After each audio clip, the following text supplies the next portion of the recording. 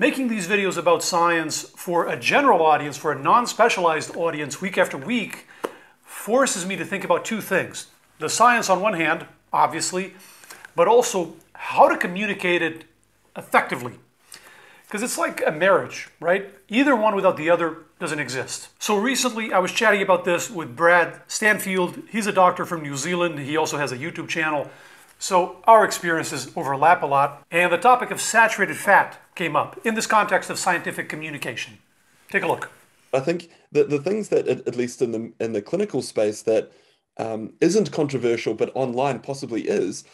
Uh, let's talk about saturated fat. So, mm. there's been a lot of research and, and a lot of, I think, misinformation online about saturated fat. When a meta-analysis was done by Cochrane, it showed that reducing saturated fat intake can reduce heart disease by about 17%. And, and so on, on the basis of that, that's strong evidence to reduce the saturated fat intake.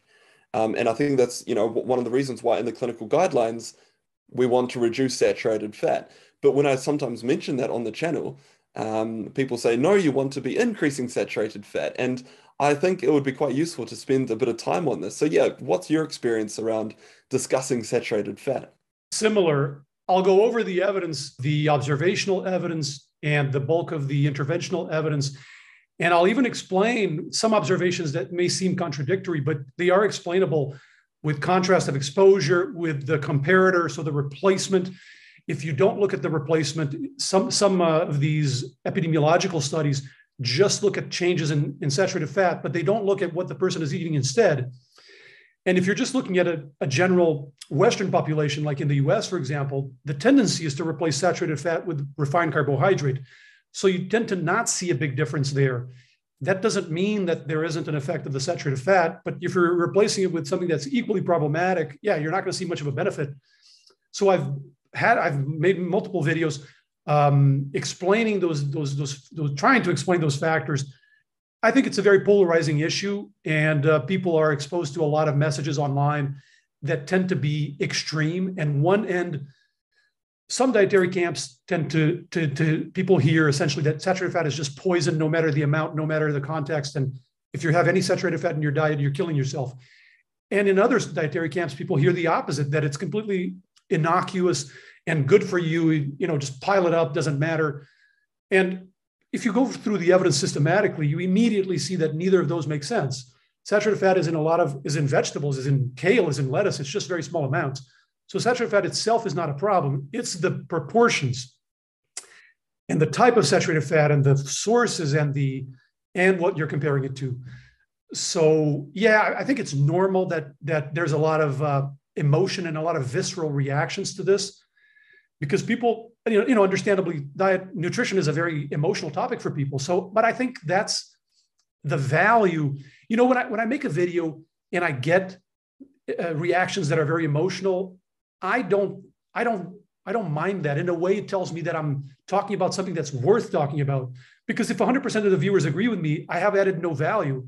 If i make a video about how tobacco is bad you know i'm going to get no complaints but they've learned nothing. They've, they've gotten no value out of me. So I don't mind. Most of my videos are on topics that are considered controversial. It's saturated fat, it's cholesterol, it's you know uh, statins, it's all these things. And I can we always get complaints. We always get complaints from like the all of the both ends of the spectrum, and I don't mind. I think it's it's normal if you're talking about something that is um, an emotional topic and where there's a lot of uh, messages online that aren't necessarily the most substantial science wise. It's expected that people are going to be chafed by some of these messages. But to me, that tells me that it is worth talking about it and showing the science. Yeah, I completely agree with that. And I think at the end of the day, one of the things that I try and emphasize on my channel is that my opinion really doesn't matter.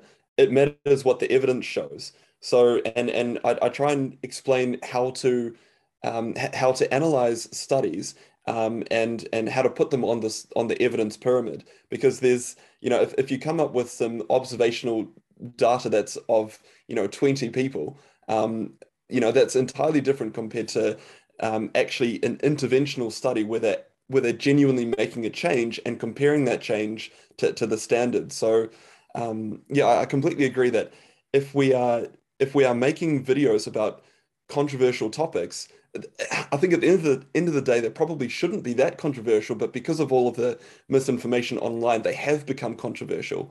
Um, but you know you, you are going to come up with um, with people that really don't like that content. And as you say that's important because then you're exposing those people to the evidence um, and then they can make up their own decision about what they want to do. Because at the end of the day i think both of us all we're trying to do is just show the evidence so that people can make up their own mind as to what they want to do.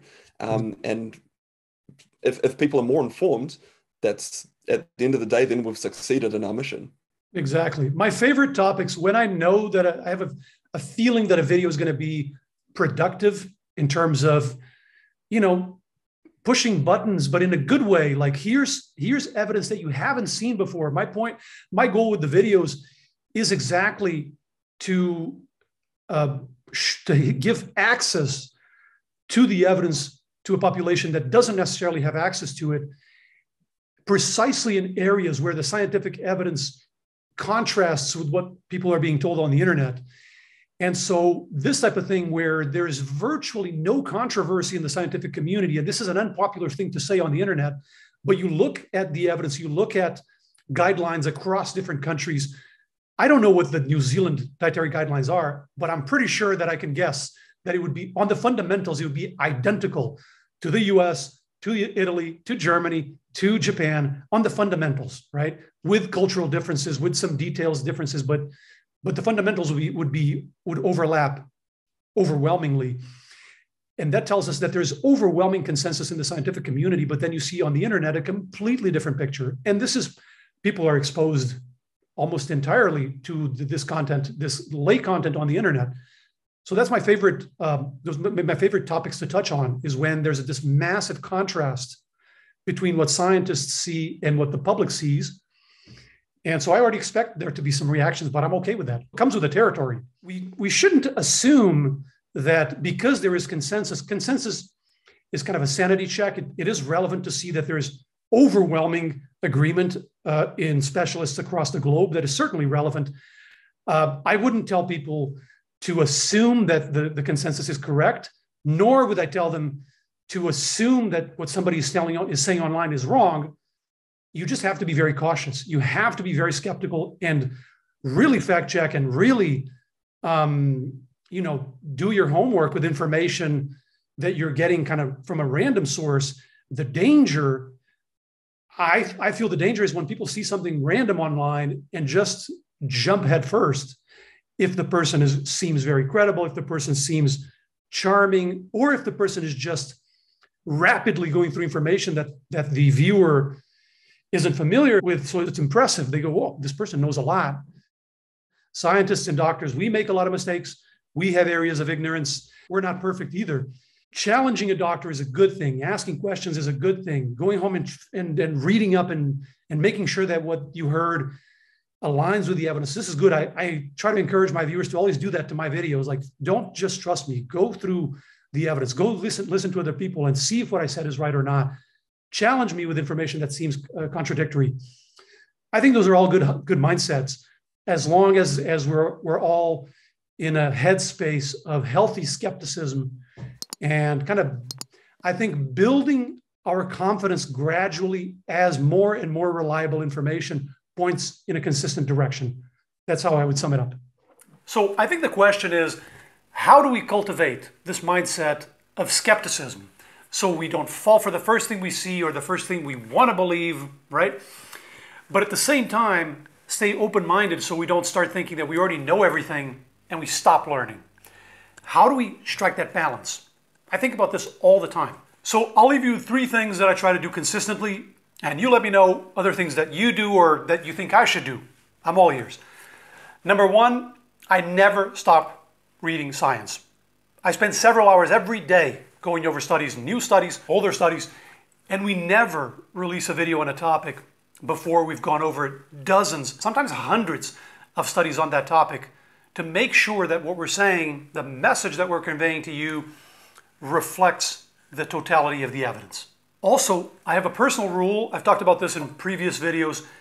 Anybody who disagrees with anything I say on social media and presents some peer reviewed evidence, if I'm not familiar already with what they're showing, I have to read that study.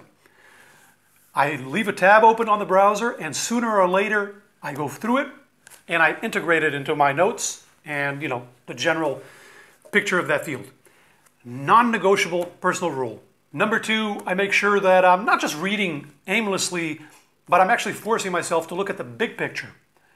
Because you can read endless studies in a pocket of evidence and still miss 90% of the picture, and that's not helpful, right? So that means things like meta-analyses, systematic reviews, things that are broad overviews of a field that force me to look at the, the full landscape. And number three, I try to stay receptive to feedback. Feedback from colleagues, for example, who watch the videos or who I discuss these topics with. I know there's a number of RDs who watch our videos and who give me feedback as well.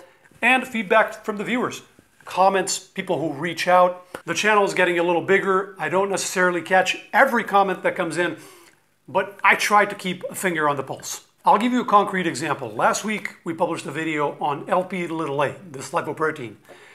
And the majority of the experts I've talked to, people who study LP little a, say that the blood levels are stable throughout life, that they don't change that much. And yet, several people contacted me after the video came out and said, you know, I've lowered my levels a lot using this diet or that diet. So I'm completely open to that being possible. The science so far hasn't demonstrated it, but that doesn't mean it can't happen in some contexts. I hope it's true, and I hope future research establishes it. And if it does, I'll be thrilled to come on and report it. Today was a bit of an unusual video, less on the nitty gritty and the bar graphs, and a bit more of a ref reflection maybe, an attempt to step back and make sure that we're heading in the right direction. But we do have a video in the pipeline on saturated fat, going over all of the frequently asked questions with a really exciting guest that we just booked. So stay tuned for that. We are going to keep looking under the hood. In the meantime, here's a general look at saturated fat and some of the many controversies that surround it. And here's a look at bias and nutrition. Take care. See you next time.